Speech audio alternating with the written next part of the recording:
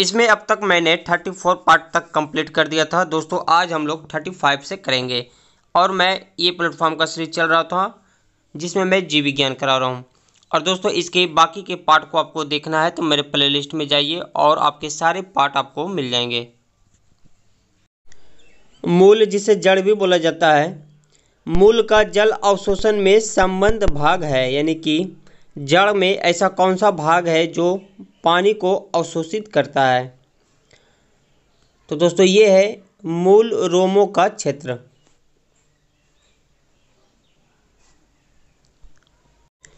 निम्नलिखित में से पोलियो किसके कारण होता है? कवक, वायरस, कृमि या फिर बैक्टीरिया। तो दोस्तों, पोलियो एक वायरस जनित रोग होता है। एलिसा टेस्ट किस रोग की पहचान के लिए किया जाता है? तो दोस्तों, ये कई बार क्वेश्चन एग्ज़ाम में आ चुके हैं। तो एलिसा जाँच किया जाता है एड्स के लिए।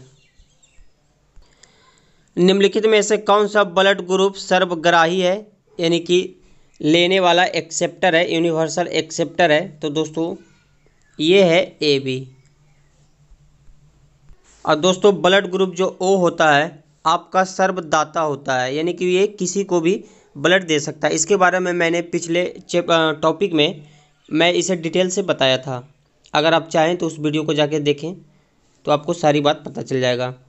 और दोस्तों, एक एक बात और बता देते हैं कि ब्लड ग्रुप का खोज किसने किया था? तो दोस्तों, ब्लड ग्रुप का खोज किया था लैंड अस्टीनर ने। और कब किया था? तो ये किए थे उन्नीस सौ ईस्वी में। किन तीन तत्वों का उपयोग रासायनिक उर्वरकों में सर्वाधिक होता है? तो दोस्तों, ये होता है नाइट्रोजन, पोटेशियम एवं फास्फोरस। हमारे शरीर में कैल्शियम की आवश्यकता क्यों पड़ती है दोस्तों? कैल्शियम से हमारे हड्डियों का विकास होता है। ब्लड कैंसर को और किस नाम से जाना जाता है? तो दोस्तों, ब्लड कैंसर को ये क्वेश्चन पिछले पार्ट में भी आया था, इसलिए दोस्तों कहते रहते हैं कि आपको पिछले पार्ट को देखना चाहिए, ताकि क्वेश्चन बार बार रिपीट होने से आपके दिमाग में आसानी से सेट हो जाएगा। तो दोस्तों, ब्लड कैंसर को ल्यूकेमिया भी कहा जाता है। ओंकोजोन किससे संबंधित है? तो दोस्तों, ओंकोजिन कर्क रोग से संबंधित है। डीएनए को किसने अंतपात्र में बनाया है? तो दोस्तों, ये है, डीएनए को बनाया गया था एडवर्ड जेनर के द्वारा। तीव्रता एवं प्रायुक्ता के आधार पर निम्नलिखित में से कौन सा कर्क रोग उत्पन्न कर सकता है तथा उसका उपचार भी कर सकता है? तो दोस्तों, ये है, परावैग्निक किरणें। परावैग्निक किरणें के द्वारा इनका उपचार किया जा सकता। है एक स्वस्थ मानव शरीर में रक्त कितना लीटर तक हो सकता है? यानी कि ब्लड की बात की गई तो दोस्तों, एक स्वस्थ मनुष्य में पाँच से छः लीटर ब्लड होता है। आंसर हो जाएगा ए नंबर। टाइफाइड तथा कॉलरा, दोस्तों, ये बीमारी है। ये किसके कारण होता है? तो दोस्तों, टाइफाइड तथा कॉलरा एक जल दूषित रोग है। यानी कि दूषित पानी से होता है।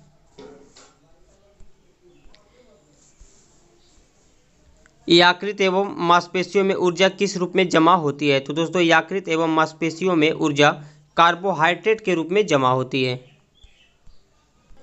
जीवाणु का खोज किसने किया था? ये क्वेश्चन मैंने कई बार बताया है दोस्तों। अगर आप मेरे वीडियो को देखते हैं तो आपको पता होगा कि दोस्तों, जीवाणु का खोज लेवेन हॉक ने किया था। इनका पूरा नाम एंटान भान लेवेन हॉक है और विषाणु का खोज इवानोवस्की ने किया था। क्वेश्चन है, जीवों में अत्यधिक विविधता का कारण क्या होता है? तो जीवों में अत्यधिक विविधता का कारण होता है अनुकूलन। ऑप्शन ए नंबर हो जाएगा। कीट संवर्धन किसे कहा जाता है? तो दोस्तों, कीटों की वृद्धि करने के विज्ञान को ही कीट संवर्धन बोला जाता है। सबसे छोटा जीव जो स्वयं विकास एवं प्रजनन करने में समर्थ है, वो कौन है? विषाणु, जीवाणु माइकोप्लाज्मा या फिर बैक्टीरियोफेज तो दोस्तों ये है माइकोप्लाज्मा ऐसे भी पूछा जाता है डायरेक्ट कि सबसे छोटा जीव कौन सा है? तो माइकोप्लाज्मा ही होगा। हरे रंग का पदार्थ जो पौधे में प्रकाश संश्लेषण करता है, वह क्या है? तो दोस्तों, आपको पता है कि हरे पौधे में जो भी पाया जाता है, प्रकाश संश्लेषण के लिए क्लोरोफिल जिम्मेवार होता है। सूचका छीकोप मनुष्यों में प्रकोप किस विटामिन की कमी से होता है? ये सूखा रोग के बारे में ये कहा गया है दोस्तों, जिसे रिकेट्स नामक रोग कहते हैं। तो ये विटामिन डी की कमी से होता है। प्रोटीन की कमी से कौन सा रोग होता है? तो आपको पता होगा कि प्रोटीन की कमी से मरासमस एवं क्वासीओर का रोग होता है, जिसे हम हिंदी में बालछय भी बोलते हैं। यानी कि आंसर हो जाएगा ए नंबर। शरीर के किस अंग की खराबी सॉरी खराबी से मधुमेह रोग हो सकता है? तो दोस्तों, ये होता है पैनक्रिया, जिसे हम लोग अग्नाशय बोलते हैं। इसी के खराबी होने के कारण मधुमेह रोग होता है। इबोला क्या है? तो दोस्तों, इबोला एक प्रकार का वायरस होता है, जो सबसे पहले अफ्रीका में देखा गया है। और ये किससे होता है? तो दोस्तों, इबोला चमगादड़ में पाया जाता है। घेंगा रोग आयोडीन की कमी से होता है। ये क्वेश्चन डायरेक्ट पूछते हैं दोस्तों कि घेंगा रोग किसकी कमी से होता है तो आप आयोडीन को टिक कीजिएगा। तो ये पूछा गया है, घेंगा रोग आयोडीन की कमी से होता है या निम्न में से किस क्षेत्र में व्यापक हो सकता है? तो दोस्तों ये होता है पहाड़ी क्षेत्र में। हमारे शरीर में विटामिन ए कहाँ पे संचित होता है? तो दोस्तों हमारे शरीर में विटामिन ए याकृत में पाया जाता है। मादा क्यूलेक्स नामक मच्छर से कौन सा रोग होता है दोस्तों? तो मादा क्यूलेक्स मच्छर से मलेरिया नामक रोग होता है। थायराइड ग्रंथि का स्थान कहाँ है? तो थायराइड ग्रंथि आपका गला में होता है।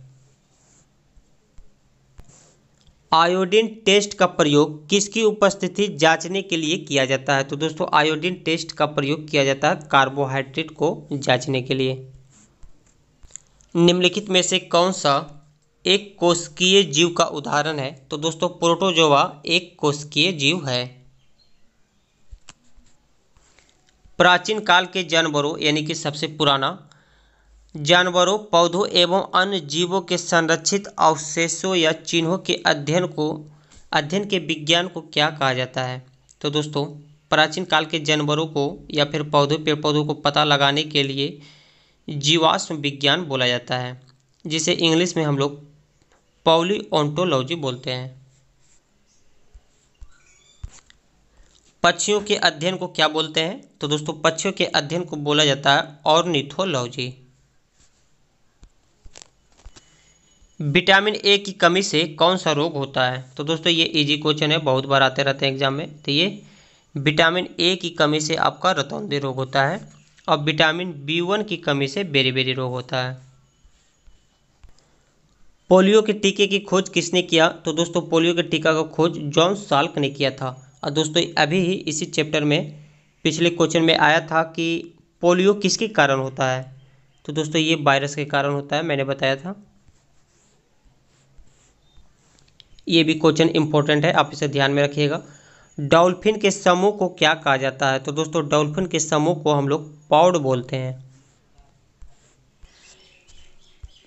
जीवन की मूलभूत इकाई को क्या कहा जाता है? तो दोस्तों, जीवन की मूलभूत इकाई को सेल बोलते हैं, जिसे हिंदी में कोशिका बोला जाता है।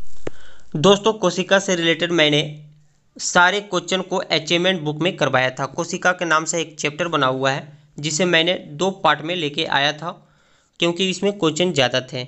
और दोस्तों, कोशिका से रिलेटेड मैंने कुछ बेसिक इन्फॉर्मेशन के बारे में भी बताया था। अगर आप चाहें तो वो जाके प्ले लिस्ट में जाके देख सकते हैं। और उसके सारे क्वेश्चन इंपॉर्टेंट हैं क्योंकि एग्ज़ाम में आते रहते हैं। मानव शरीर में सबसे छोटी हड्डी कौन सी है? तो दोस्तों, मानव शरीर में सबसे छोटी हड्डी को बोलते हैं अस्टेपिज और ये कहाँ पे पाया जाता है? तो दोस्तों, ये कान की हड्डी होती है और टिबिया नामक हड्डी आपका पैर में पाया जाता है। आपको एक बात और ध्यान ध्यान में रखना है कि शरीर के सबसे लंबी या फिर बड़ी हड्डी कौन सी है? तो दोस्तों, वो है फीमर और ये कहाँ पाया जाता है? तो ये जांग की हड्डी है। एक बताओ, मैं इसमें बता देता हूँ, क्योंकि एग्ज़ाम में आते हैं। हड्डियों के अध्ययन को क्या कहा जाता है? तो दोस्तों, हड्डियों के अध्ययन को ऑस्टियोलॉजी बोलते हैं। पीछे की ओर उड़ने वाला एकमात्र पक्षी कौन सा है? तो दोस्तों, ए है हमिंग बर्ड और इससे रिलेटेड एक और क्वेश्चन बनते हैं बनते हैं कि विश्व में सबसे छोटा पक्षी कौन सा है? तो दोस्तों, आप इसी को टिक कीजिएगा। दोनों का आंसर एक ही होगा।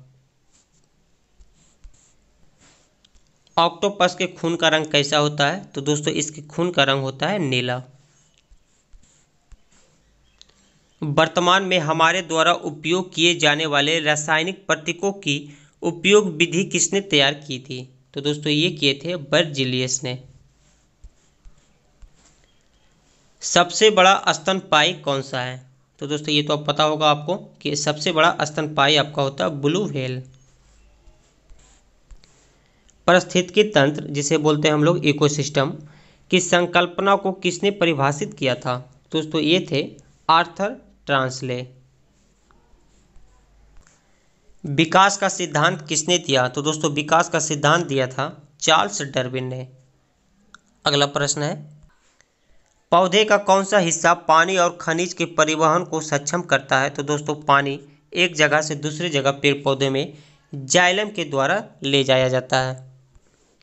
हवा के परागन को, जिसे पॉलिनेशन बोलते हैं, हवा के परागन को क्या कहा जाता है? तो दोस्तों, हवा के परागन को एनिमोफिली बोलते हैं।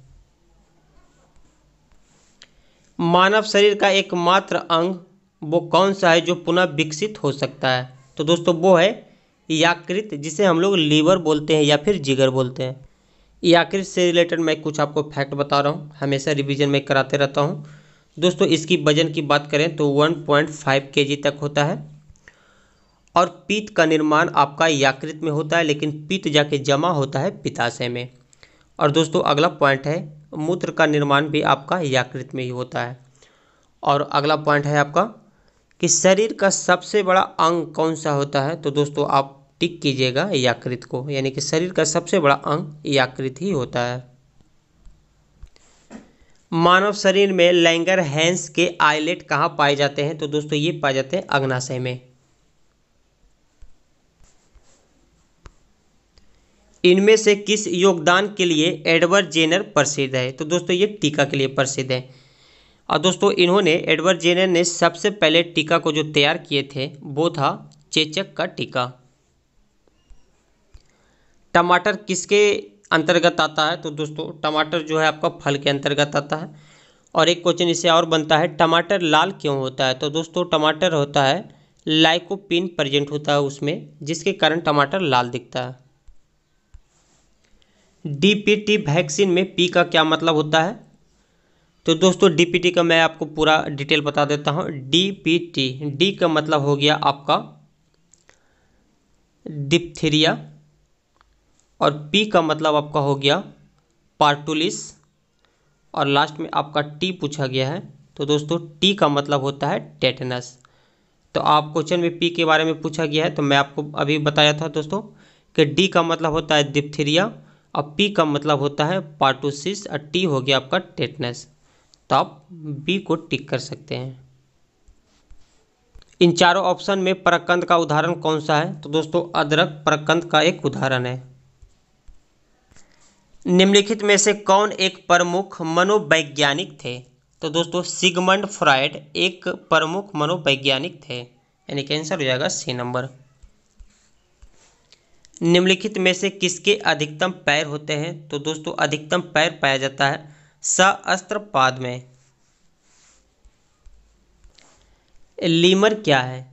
तो दोस्तों, लीमर एक प्रकार का जानवर है, जो आपका पाया जाता है मेडागास्कर में। लीमर एक प्रकार का जानवर होता है, जो आपको पाया जाता है मेडागास्कर में। यानी कि आंसर डी नंबर होगा। और ये आज का लास्ट क्वेश्चन होगा, और बाकी का क्वेश्चन हम अगले पार्ट में लेके आएँगे। निम्नलिखित में से कौन सी प्रक्रिया कार्बन डाइऑक्साइड, जिसे हम लोग सी से डिनोट करते हैं, रासायनिक सूत्र होता है? निम्नलिखित में से कौन सी प्रक्रिया कार्बन डाइऑक्साइड के वातावरण को हटाती है? तो दोस्तों, ये प्रकाश संश्लेषण, जिसे इंग्लिश में फोटोसिंथेसिस बोला जाता है।